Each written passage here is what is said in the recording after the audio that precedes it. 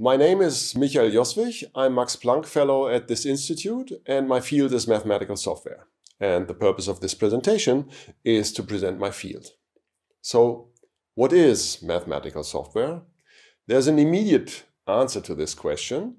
So, mathematical software is what mathematics receives as a benefit from the digital age. But let's be a little bit more specific. So, I will present a few software systems and what you can do with them that I have been working on over the last few years with very many colleagues. So some of these are really large efforts. And the first system is uh, still in the making. It's a fairly new system called OSCAR.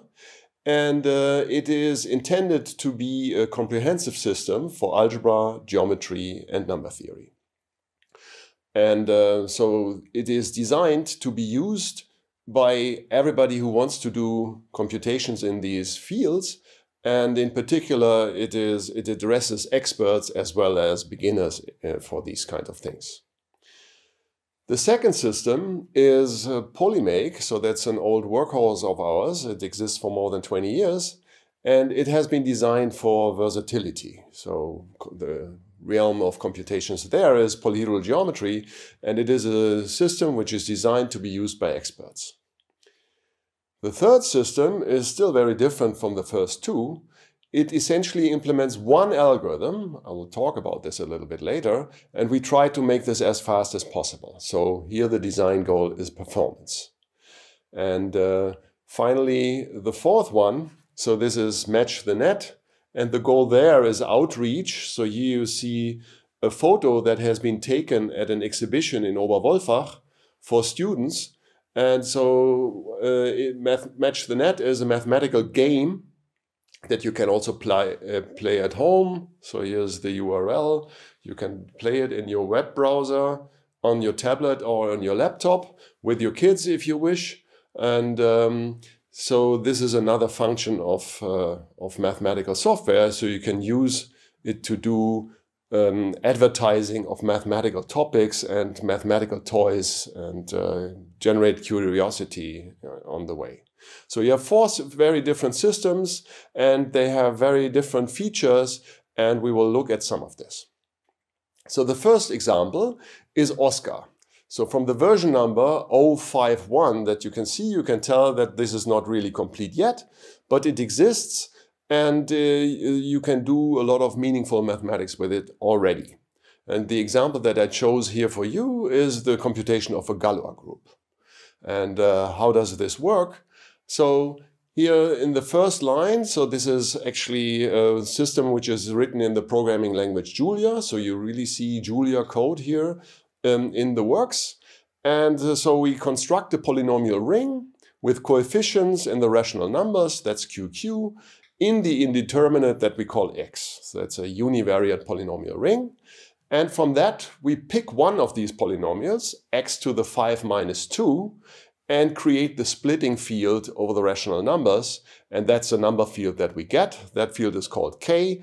And we also re receive a, a primitive element, which is called a.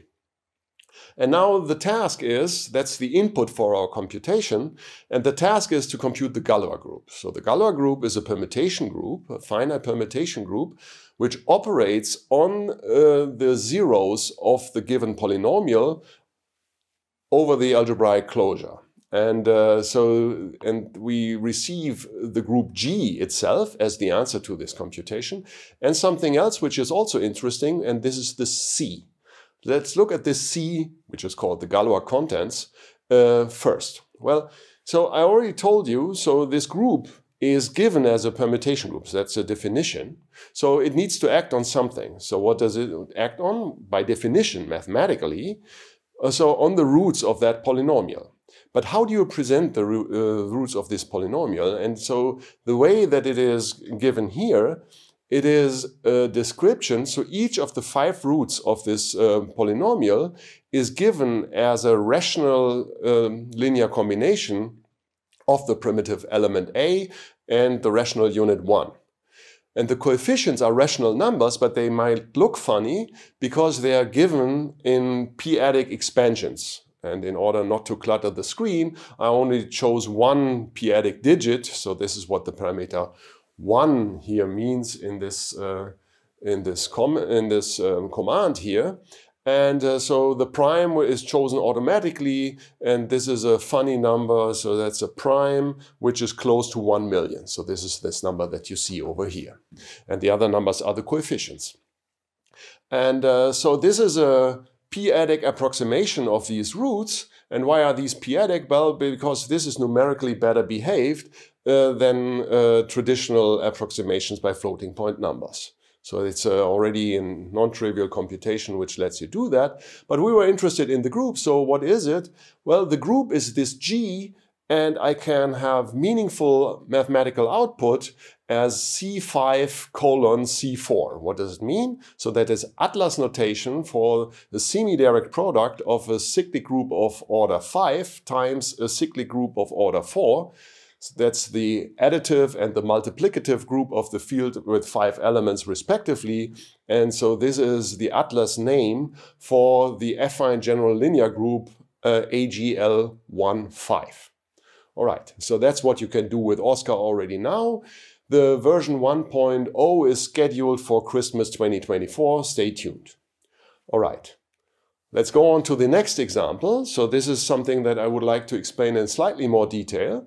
And uh, so the mathematical objects that we are interested in here are triangulations of finite point configurations. So here is an example. I have six lattice points in three-dimensional space, but they lie on the plane where the sum of the coordinates equals to 2. So I have six points in three space. All of the coordinates are integer numbers, non-negative integer numbers, and they sum to 2. And so there are exactly six of them, and you see them here. Now, so these are actually the lattice points in the dilated triangle delta 2. So delta 2 is just the convex hull of the unit vectors in, in 3 space, and I scale these by the factor of 2. So that's this dilated triangle. Now, I'm interested in the triangulations of this point configuration, and uh, so this is a subdivision of the convex hull of these uh, six points. So the convex hull of these six points is that triangle, this dilated triangle. And subdivision of those points means I want to use a subdivision into triangles which use the given six points as vertices, but a priori I might not be forced to use uh, some of them. So, and then the answer is how many triangulations do I have? Well, I have five up to symmetry. So the point configuration is symmetric. So the symmetric group of degree 3 acts on the three vertices, and this induces an action on the triangulations. And with respect to these, uh, um, this group action, I have five orbits, and you see a representative of one of them.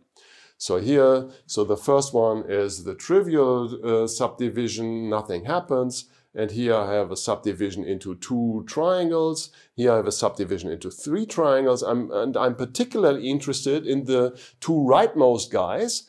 They differ from the other ones. You can see this immediately. So for the blue ones, there's at least one of the white points. So these white points are the six points that I started out with and at least one of them is missing. So it does not occur as a vertex in one of the triangles. So for instance, this one does not occur here, and similarly for the other ones. Whereas for the red guys, all the six points are used. So that's why I'm more interested in those. Also, in this particular case, all triangulations satisfy a certain important geometric condition. They are regular, which means that they, you can see them as being induced by a height function. And uh, this is important geometrically. So why am I interested in the two red guys? So they define all possible families of something which is called smooth tropical plane curves of degree 2 and genus, genus 0. So plane curves means because it's a finite uh, point configuration in the plane, and degree 2 is because I chose the scaling factor of 2 here in this thing.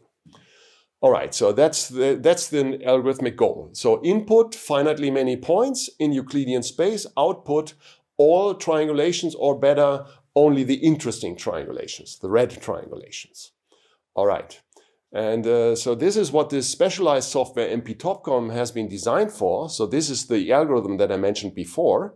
So MP-Topcom is very good at spitting out all the possible triangulations, more, more exactly the interesting triangulations of a given point configuration. And one of the things that we computed was we just take the next bigger example in dimension. So we go to three dimensions and we also scale by three. So that is now a point configuration of 20 points, 20 lattice points in, in four space, again lying in uh, this uh, hyperplane, sum of the coordinates equals three. And um, we want to compute all the interesting triangulations and up to symmetry, there are about 14 million. So that's a theorem that we obtained by using this particular piece of software. And it took 160 CPU days uh, on, a, on a small cluster. All right.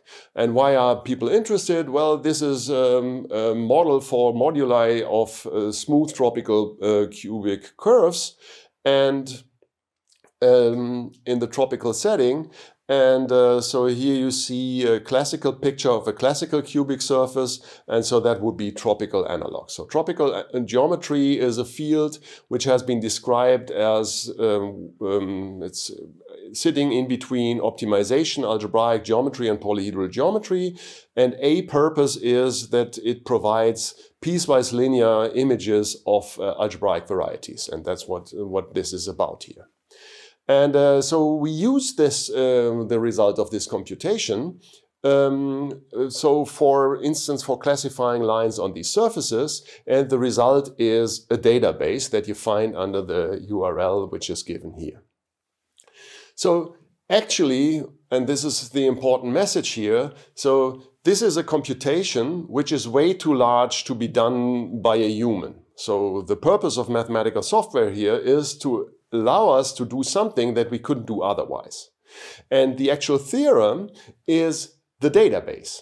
So that is a theorem which is even too large to write down in a traditional form. And what you see here, which I claimed was the theorem, is just a mere shadow of it. It's a corollary of a corollary of a corollary of that theorem.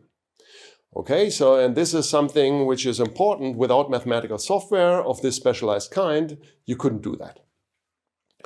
So in order to, for my next thing, so I want to talk about this specialized software Polymake, I, I'm staying in the picture, so I'm, we are still in this tropical geometry triangulation world, and I'm going into the prehistory of the two theorems that you saw before. And so the prehistory starts in the 19th century with the famous conversation of Cayley and Salmon in 1849, and uh, so from which um, an important theorem of algebraic geometry emerged. And this says that each smooth cubic surface in the complex projective space of dimension 3, there are exactly uh, 27 lines on such surfaces. That's a famous theorem in algebraic geometry. It has a long history and it has major impact on the entire field. So, because tropical geometry tries to explain things in algebraic geometry and related to other things. So it was a natural question to how does this look like tropically? And uh, a first person to set out on this uh, endeavor was um, Magnus Dehli Vigeland. And in his PhD thesis 2010, he came up with a classification of, let's say, combinatorial patterns of tropical lines in these surfaces. And he was able to prove so that something very interesting happens, something which doesn't have a classical analog, namely instead of only having finitely many, many lines, it can happen that you have infinite families of lines occurring. And this, despite, even in the presence of all the genericity assumptions that you want to, want to make. So it's an unavoidable feature of tropical geometry, you could say. And that's a very important observation of Vigeland. Now, as it happened, a little bit later in 2017, Simon Hampe and I found a, smooth tropical cubic surface, generic one, and uh, it has a new combinatorial pattern of lines. So new means it is something which doesn't occur in Vigeland's list of 2010. So Vigeland produced a traditional mathematical proof, handwritten and um, it, it, looks really perfect, but there's a small glitch because he missed a case. And we used mathematical software, more precisely Polymake, in order to, to find the gap in that proof. So that's another feature of mathematical software. Mathematical software complements our skills. Just because it is very different from how the human mind works, we can use it for different things. And so to extend our range, like in the previous example, but also to complement our things by doing experimental mathematics in a meaningful way and to come up with something interesting. And what came out of this is a new classification, which is now correct. And that's a new corrected version of Vigeland's classification joined with Marta Panizzut, which appeared on the arXiv in 2019. So mathematical software helped to correct that error. Now, finally, there's an important question to be answered that has not been addressed yet. So now that we know that mathematical software is so useful for all kinds of mathematics, why does it need to happen at this institute? This institute is all about applications of mathematics to various fields of science. And here mathematical software plays a key role because you can also see mathematical software as um, kind of mathematical knowledge wrapped up into a piece which can be used by non-experts. So this is in this way mathematical knowledge much more easily than a book or a written paper uh, can bridge the gap between fields of science. And uh, so here again, I picked a few examples of uh, research of mine with co-authors from the last few years. So we have a, we used exactly these techniques that you saw relevant for tropical geometry. We applied them to biology, more precisely analysis of epistasis in microbiome data of fruit flies. So, but we also analyzed um, combustion engines. So this is an engineering application. So what you see here in the middle, it is um, it is a chart where you have a, it's called a part of an engine map where you have a revolution frequency of an engine and you have the torque and then the color shading in this particular case uh, is related to NOx emissions and blue is good. And so this is the result of this computation that we did via means of mathematical software and polyhedral geometry and combinatorial optimization. Uh, just a short remark. So this particular computation um, improves pre-existing results which came from uh, artificial intelligence and machine learning. So this is just to tell you that machine learning is not the end of the uh, story when it comes to applying software to mathematical problems also.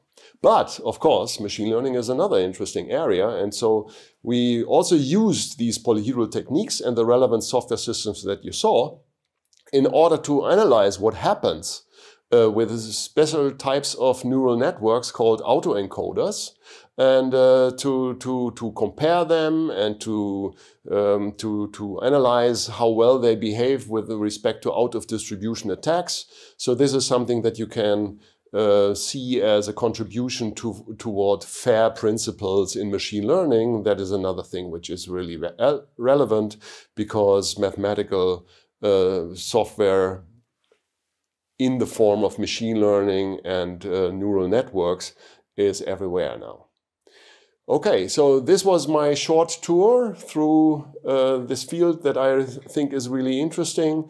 And uh, so I should uh, say everything that you saw here can be done at home because this is all of this is open source software. You can download it from my webpage or the Institute's webpage. And um, if the algebra and the geometry um, are not interesting to you enough, stick to the mathematical game. Thanks to, for your attention. Goodbye.